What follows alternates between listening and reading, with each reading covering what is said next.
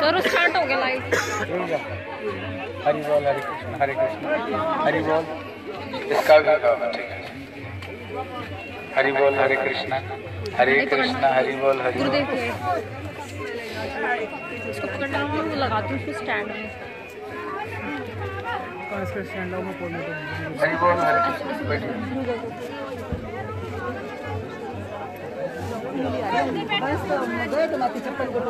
अंदर वो बिछा दो ना। फटाफट निकालो।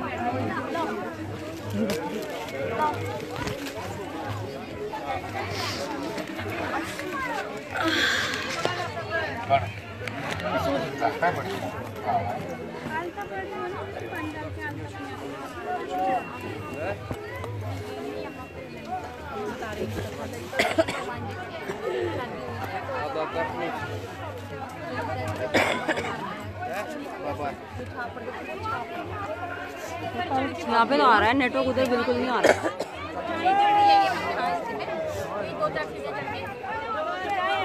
दो चार नहीं है एक दो तीन। यही ऊपर यही मंदिर है। हरि बोल हरि। ए सुंदर गोपाल। ए सुंदर इधर आओ। इससे निकलना हरि बोल हरे कृष्ण। आओ इधर आ जय राधा माधव। जय कुंज बिहारी। जय राधा माधव। जय कुंज बिहारी। देखिए सब। जय राधा माधव। जय कुंज बिहारी। बोलो जय राधा माधव।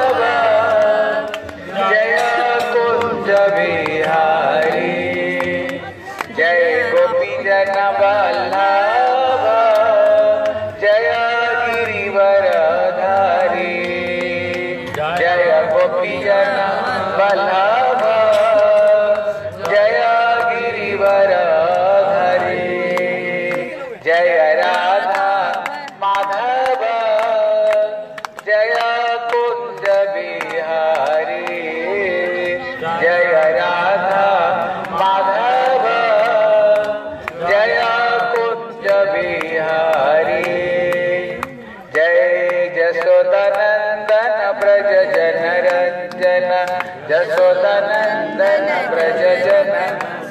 आज जसोदा जीवन ब्रज जन रंजन। जसोदा जीवन ब्रज जन रंजन। जसोदा जीवन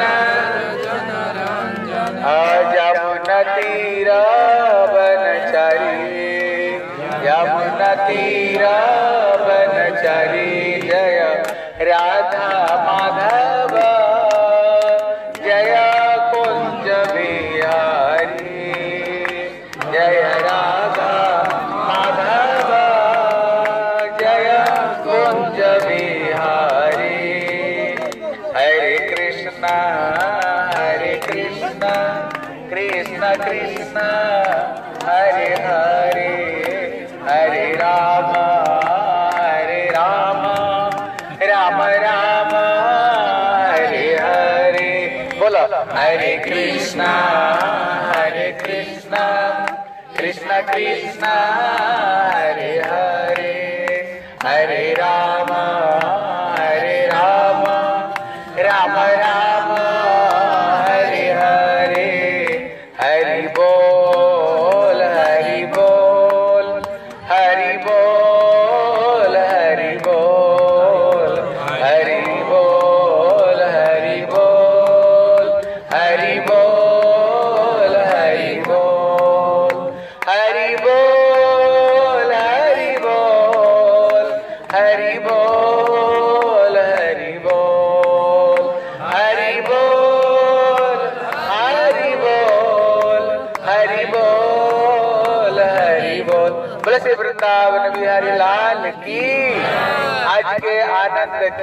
जय जय श्री राधे।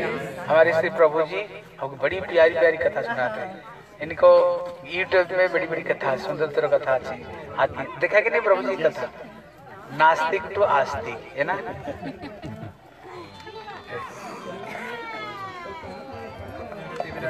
ज्ञानञ्जनशलाके चक्षुरुन्मिलितं तस्मै श्रीगुरुवे नमः।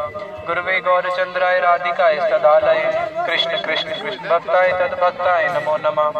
वाञ्छाकल्पतरुभ्यश्च कृपा सिन्धुभ्य एव च पतितानां पावनेभ्यो वैष्णवेभ्यो नमो नमः। सर्वप्रथम दीक्षा गुरुपाद पद्म नित्यलीला प्रविष्टों विष्णुपादस्तोत्रशत श्री शिवशील भक्ति वेदांत शीला नारायण गोसाई महाराज जी के चरणों में अनंत कोटि दंडवत प्रणाम ज्ञापन करता हूँ। हम जिस स्थान पर आए हैं, इस पर्वत का नाम है सखीगिरी पर्वत। ये जो ऊँचा गाँव है, ललिता सखी का गाँव, जो भी हम जिस मंदिर में गए थे, वो जो पर्वत था, उसका नाम है अटारी पर्वत और ये है सखीगिरी पर्वत। यहाँ पे जो आलता पहाड़ी है, और इससे थोड़ा और ऊपर जाओगे तो छप्पन कटोरा है। वहाँ पे छप्पन कटोरे बने हुए हैं, जहाँ पे कृष्ण अपने सखाओं के साथ बैठ के भोजन करते थे। यहाँ पे एक दिन ललिता और कृष्ण बैठे हुए थे। तो जब ललिता और कृष्ण बैठे हुए थे पीछे से किसी गोपी ने क्या किया ललिता का आंचल लेके कृष्ण के पिताम्बर के साथ बाँध दिया। और दूसरी गोपी ने क्या किया जैसे शादी होती है तो शादी के कुछ स्पेशल कीर्तन होते हैं जो शादी में ही गाए जाते हैं। मेरी सखियों मुझे मेहंदी लगा दो। मेहंदी लगा दो। मुझे ऐसा सजा दुल्हन दुल्हन नहीं गोपी। गोपी बना दो। तो वहाँ पे सब सखियों ने कीर्तन गाना शुरू किया और तुम विद्या बड़ा ही अच्छा क्या करती है, उसके पास यंत्र है जिससे वो बजाती है। तो कोई करताल बजाने लगी, कोई हाथ में मृदंग बजाने लगी सारी सखियाँ। तो उतने में ललिता सोच रही है कि ये हो क्या रहा है? कृष्ण सोच रहे हैं, ये हो क्या रहा है? तो जैसे ही देखा कि ये सब शा- शादी का कीर्तन गा रहे हैं, कोई फूल डाल रहा है और सब यंत्र बज रहे हैं तो वो एकदम से डर गए। उनको लगा ये तो हमारी शादी करा रहे हैं। उतने में ही जैसे ही वो खड़े हुए तो दोनों का पहले ही क्या था पिताम्बर और उनका आंचल बांधा हुआ था तो वहाँ पे खड़े ही नहीं हो पाए। तो यहाँ पे इस प्रकार से लीला हुई है। और इसके पीछे ही जहाँ हमारी बसें खड़ी हैं के आए हैं यहाँ पे एक स्थान है उसको बोलते हैं त्रिवेणी गंगा यमुना सरस्वती। वहाँ पे तीनों तीनों नदियों का जल वहाँ पे किसी एक संत ने प्रकट किया था तो इसलिए उसका नाम है त्रिवेणी। महाराज इधर आ जा महाराज जी इधर आ जा हाँ। और त्रिवेणी के ही साथ में हमारे हमारी संप्रदाय में एक मयंक का नाम हुआ है नारायण भट्ट। नारायण भट्ट जी की समाधि ही पास में ही है। जो अभी हम श्री जी के मंदिर गए थे ऊपर, वो जो श्री जी के विग्रह हैं इन नारायण भट्ट ने ही प्रकट करे हैं। ये गदाधर पंडित की संप्रदाय में आते हैं, उनके शिष्य के शिष्य थे। और इनकी समाधि यहाँ पे है, जो मानसी गंगा है हमारे मठ के पीछे, वो भी इन्होंने ही प्रकट करी है। संकेत वन में जो हम गए थे, संकेत बिहारी, वो भी इन्होंने प्रकट करे हैं। ब्रज के बहुत सारे स्थान है, जो इन संत ने प्रकट करे हैं, इनका नाम है नारायण भट्ट। और जो ललिता जी है, शीला रूप गोस्वामी जी बताते हैं, ललिता अष्टकम के अंदर, धूर्ते ब्रजेंद्र तनय तनु सुष्टु माम्यम, माँ दक्षिणी भव कलंकनी लाघवाए राधे गिरम शृणुमिति शिक्षयंतिम देवीम गुणे सुललिताम ललिताम नमामि। जिसमें श्री रूप गोस्वामी जी बता रहे हैं कि राधा जी जो है, कृष्ण के ऊपर शासन करती है। लेकिन राधा जी की एक ऐसी सखी है ललिता, जो राधा जी के ऊपर भी क्या करती है? शासन करती है। बताती है, धूर्ते ब्रजेंद्र तनु सुष्टु माम्यम। जिसके अंदर ललिता जी राधा जी को क्या बोलती है? कलंकनी। बोलती है, अरे कलंकनी, तेको अपना मान नहीं तोड़ना। अगर मानो राधा जी का मान टूटने भी वाला होता है तो ललिता उनको रोक देती है कि नहीं नहीं, तुझे आज मान नहीं तोड़ना। तेको श्याम सुंदर से नहीं मिलने जाना। तो ललिता जी का ऐसा प्रेम है राधा जी के प्रति कि राधा जी भी ललिता जी के सामने क्या होती है? चुप हो जाती है। ललिता जी उनको ऊपर शासन कर देती है। उसके बाद ललिता जी जो है एक रूप में बताया कि राधा जी की गुरु भी है। कैसे? ललिता जी जो है राधा जी को शिक्षा देती है। इति, शिक्षयंतिम देवीम गुणेशु ललितम ललितम नमामि। जिसमें रूप गोस्वामी जी बता रहे हैं कि ललिता जी राधा जी को क्या शिक्षा देती है? ललिता जी राधा जी को शिक्षा देती है कि कैसे वाम्य रूप को अपना वाम्य रूप को तोड़ना नहीं है। वाम्य रूप होता है, जिसके अंदर जो गोपी है, वो कृष्ण के ऊपर हैवी हो जाती है, कृष्ण के ऊपर भारी चढ़ जाती है। तो वहाँ पे ललिता जी उनको शिक्षा देती है अभिसार की, कि कैसे अभिसार में जाना है। जब अभिसार के लिए जाएँगे तो क्या होगा, जब राधा जी कृष्ण से निर्जन वन में मिलने जाती हैं, पूरा अंधकार वन होता है। अब उस अंधकार वन में बहुत जगहों पे कीचड़ भी होता है, कई जगहों पे कांटे भी होते हैं। तो ललिता जी क्या करती है, यही अपने आँगन में ललिता जी एक मार्ग बनाती है, जिस मार्ग के अंदर कलसी का जल पूरा डाल देंगे और उसमें बहुत सारे कीचड़ डाल देंगी कंकड़ डाल देंगी और राधा जी को बोलेंगे, अब तुम इस पे चलना शुरू करो। और जब उस पे चल चल के उनको सिखाती है कि कैसे कृष्ण से निर्जन वन में मिलने के लिए जाना है। उसके बाद जब राधा जी अभिसार के लिए जाती है तो कई बार क्या होता है, निर्जन वन में कई बार सांप आ जाता है। तो ललिता उनको शिक्षा देती है कि अगर सांप आ गया तो सांप के फंड के ऊपर एक मणि होती है। उस मणि से क्या होता है? सांप की फंड पे जो मणि है, उससे क्या होगा? एकदम रोशनी आएगी। और हो सकता है कोई राधा जी को देख ले।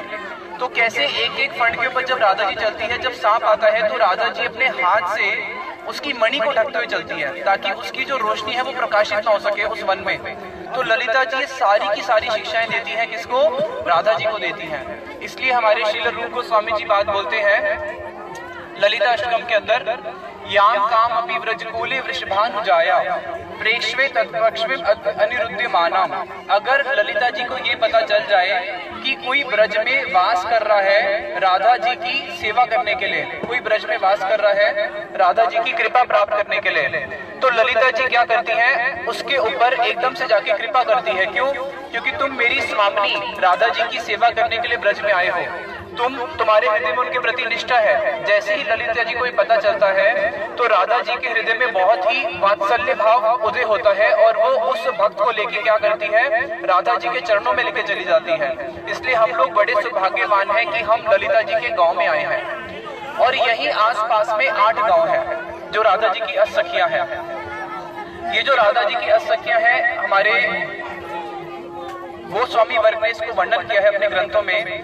अनेक अनेक कल्प में अनेक कथाएँ होती हैं। एक कल्प में ऐसी कथा हुई थी, जिसमें ये आठों की आठों सखियों का जन्म हुआ था विंद्रांचल पर्वत में। और पूतना वहाँ से आठों कन्याओं को लेके आ रही थी।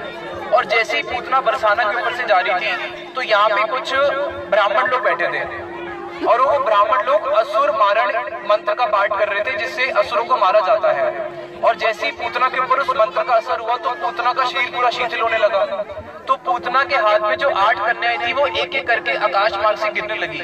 तो जो बरसाना है वृषभानुकुंड जहाँ हम सुबह गए थे वहाँ राधा जी गिर गई। ऊँचा गाँव में ललिता सखी गिरी। पास में ही चिकसौली है, चिकसौली में चित्रा सखी गिरी। तो यहाँ पे आठ गाँव आसपास में है राधा जी के, जहाँ पे आठों गिरी। और हमारे शिला भक्ति विनोद ठाकुर जी प्रार्थना करते हैं कि अगर हम बरसाना में आए तो क्या प्रार्थना करनी चाहिए? इसको शिला भक्ति विनोद ठाकुर जी अपने कीर्तन में बताते हैं। देखिते देखिते भूलिबो वा कबे, निज स्थूल परिचय कह रहे हैं, देखिते देखिते, भूली वो वाकबे निज स्थूल परिचय। देखते देखते, भजन करते करते कब ऐसा होगा कि मैं अपने स्थूल परिचय को भूल जाऊँगा? वृक्ष भानु पूरे जन्म लईबो जावटे विवाह होवे और कब ऐसा समय आएगा कि हमारा वृक्ष भानुपुर यानी कि बरसाना में जन्म होगा। राधा जी की सारी जो सखियाँ हैं नित्य सिद्ध सखियाँ, उन सबका बरसाना के आसपास में ही जन्म हुआ है। और फिर वो क्या करती है? जावटे विवाह होवे। जावट, जहाँ पे हम जाएँगे इक्कीस तारीख को, जावट में उन सब गोपियों का विवाह होता है और परकिया रस से वो राधा जी की सेवा करती हैं। तो यहाँ पे शीला भक्ति विनोद ठाकुर जी की उसी प्रार्थना को हम उनके पीछे तोते की तरह दोहराते हैं कि देखीते देखीते भूली वो वाकबे निज स्थूल परिचय नए हेरी वो ब्रजपुर शोभा नित्य चित आनंदमय। कब हम इस स्थूल परिचय को भूल के उस चिन्मय धाम के दर्शन कर पाएँगे? जब तक हम अपने स्थूल परिचय को नहीं बोलेंगे इस चिन्मय धाम के में दर्शन नहीं हो सकते। इसलिए हमारे गुरु वर्ग हमें बार बार स्थान पे लेके आते हैं ताकि हम अपने इस स्थूल परिचय को भूल के उस चिन्मय धाम की उसकी कुछ उपलब्धि कर सके। इतना ही बोल के वाणी को विश्राम देते हैं गौर प्रेमानंदे। हरी हरि बोल। ललिता सखी की। अरे ज़ोर से कर दो जय ललिता सखी की। देखो आप लोग जो ऊपर गए कि नहीं? कौन कौन ऊपर गए थे? हाथ उठा कौन कौन ऊपर गए थे? अभी यहाँ पर नहीं देखे हो? ये ये जो शिला ऊपर सब लोग देख रहे हैं। हाँ देखो एक दिन कृष्ण यहीं पर गैया चराने के लिए सखाओं के साथ में कृष्ण यहीं आते थे। और ये जो स्थान है यहाँ पर अभी प्रभु जी बताए ना आस पास में उनके जितने सब सखियाँ हैं, ये सब आस पास में यही सब जन्म हुए हैं और राधा रानी तो देखा किसी कल्प में राधा रानी यही जन्म लेती है और किसी कल्प में राधा रानी रावल में जन्म लेती है।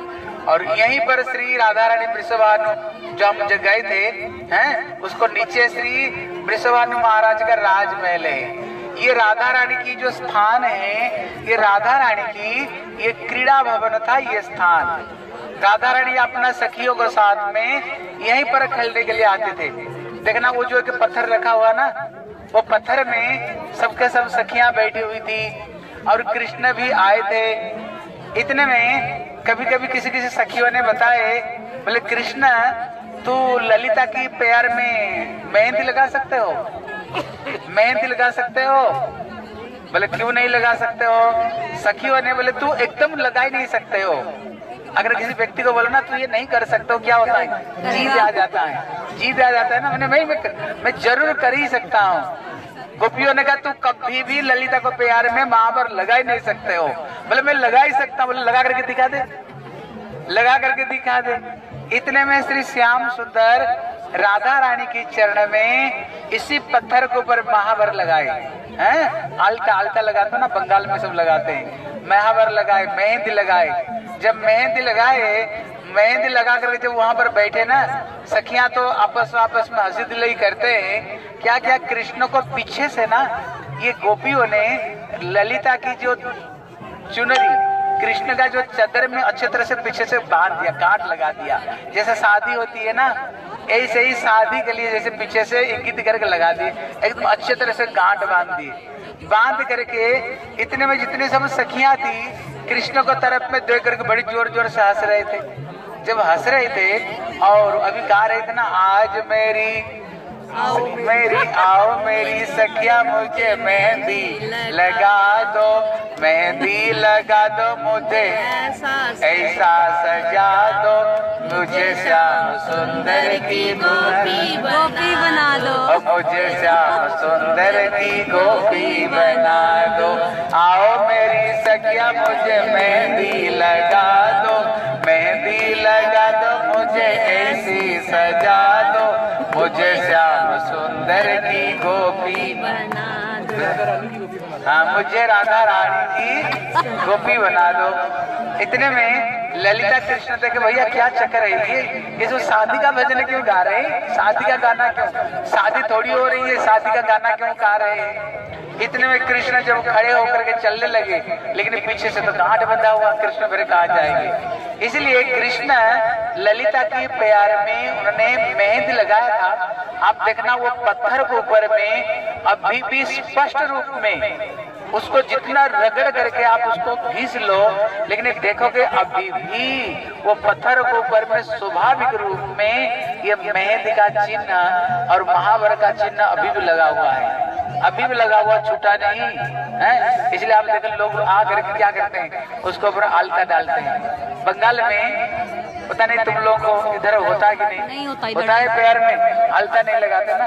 लेकिन बंगाल में लोग जो देखा ना आलता के बोतल जानते हैं हाँ उसको बंगाल में जिसकी जो शादी हो जाएगी जो लड़की ना वो ज़रूर अपना प्यार में लगाएगा। अगर वो शादीशुदा लड़की तो खाली प्यार में वो कभी नहीं रहता है। वो कभी खाली प्यार में रह, नहीं रहेगा। ज़रूर आलता को प्यार में वो लगाते राधा रानी भी आलता को लगाया करते थे मेहंदी को लगाया करती थी। इसलिए जो जगह है ये राधा और ललिता की कृष्ण ललिता की ये शादी की बेदी है। यहाँ पर बेदी बना हुआ और इसको ऊपर में चौसठी कटोरा है। सखाओं ने यहीं पर गैया चराया करते थे ऊपर में बैठ करके भोजन करते थे। अभी भी देखोगे इतने छोटे छोटे छोटे छोटे कटोरा है। ऊपर में स्वाभाविक रूप में। ऊपर में देखोगे, ऐसे ऐसे शिला पत्थर है, जिसमें लाइट पड़ने पर स्वाभाविक रूप में चमकती है। जैसे आकाश में तारा जैसे झिलमिलाती है ना, ऊपर जाओगे तो देखोगे ऐसे ऐसे पत्थर है, जिसको ऊपर में सूर्य का किरण पड़ने पर अपने आप ये चमकती रहती है। इसलिए ये जो आसपास जितने स्थान हैं, ये संपूर्ण रूप में राधा कृष्ण की ये लीला भूमि है। कृष्ण यहीं पर सखियों के साथ में लीला करते थे। और ये राधा रानी का ये था, अपना काम था, इसलिए कृष्ण कभी भी अपना रूप में कभी नहीं, कृष्ण आए नहीं, कभी अपना रूप में नहीं आए। क्योंकि राधा रानी से शादी नहीं हुई छुप करके श्याम सुंदर, यहीं पर गैया चराने के लिए आते थे। और विभिन्न बहाना बना करके राधा रानी को साथ में यहाँ पर विलन होती थी। इसलिए हम लोग बड़े भाग्यवान हैं। जो गुरु वैष्णव कृपा से हम लोग यहाँ पर आए और ये लीला स्थलियों को दर्शन कर रहे हैं। सबके सब सब यहाँ पर प्रणाम करो और राधा रानी की चरण की भक्ति मांगो। एक दिन राधा रानी चरण की हमें भक्ति मिले, क्योंकि राधा रानी की कृपा से ही हमें श्री श्याम सुंदर प्राप्ति होगी, नहीं तो प्राप्ति हो ही नहीं सकती है। ठीक है? बोले श्रीमती राधा रानी की। बोले श्री ललिता सखी की। बोले श्री विशाखा तुंग विद्या चित्रा सुचित्रा सखी की। अनंत कोटि गौर भक्त वृंद की। समागत गौर भक्त वृंद की। पिताई गौर ब्रह्मानंदे। हाँ मुझे लगता है सुना। अभी और एक जगह, और एक जगह बाकी रह गया। लेकिन पता नहीं आप लोग यहीं से वापस जाओगे ना? यहीं से वापस जाओगे क्या? कहाँ जा रहे हो? हाँ लेकिन और एक जगह मतलब यहाँ से थोड़ी सी दूर है सूर्य कुंड है। जहाँ पर राधा रानी सखियों के साथ में सूर्य पूजा की बहाना में जहाँ गया करते थे, और वहीं पर उन्होंने कृष्ण के साथ में मिलते थे। वहाँ पर एक बाबा थे। वो बाबा, बढ़िया जगह है। वो पानी में जब उन्होंने डुबकी लगाए ना, उनको हाथों में एक स्वाभाविक रूप पत्थर आया। वो पत्थर में राधा रानी द्वापर युग में जब स्नान करते थे कुंड में, अपना मुकुट को, सुख शिला मुकुट इसलिए वो बाबा डूबते ही उनका हाथ में अपने आप आया। राधा रानी ने स्वप्न दिया, बोले, बाबा, ये जो शिला तुम्हें मिला है ना, ये मुकुट शिला है। देखो, मेरे मुकुट का चिन्ह उसमें। स्वाभाविक रूप में देखो, जैसे मुकुट होता है ना, ऐसे ही पत्थर के ऊपर वो शिला भी है। इसलिए जहाँ पर राधा कृष्ण बड़े निवृत्त निकुंज सेवा करते थे, वो स्थान का नाम है सूरज कुंड है। पता नहीं ये बस ले जाएगी कि नहीं, मेरे को पता नहीं। आप लोग तो कहाँ अम्ब- हरिद्वार से आए हो, हैं? बस में जा रहे हो। फिर तो कोई दिक्कत नहीं। अगर बस जाएगा तो बहुत बढ़िया जाएगा बहुत बढ़िया कथा वहाँ पर सुनोगे। ठीक है? बोले वृंदावन बिहारी लाल की आज के आनंद की जय जय श्री राधे। हाँ कथा बहुत होगी। हाँ?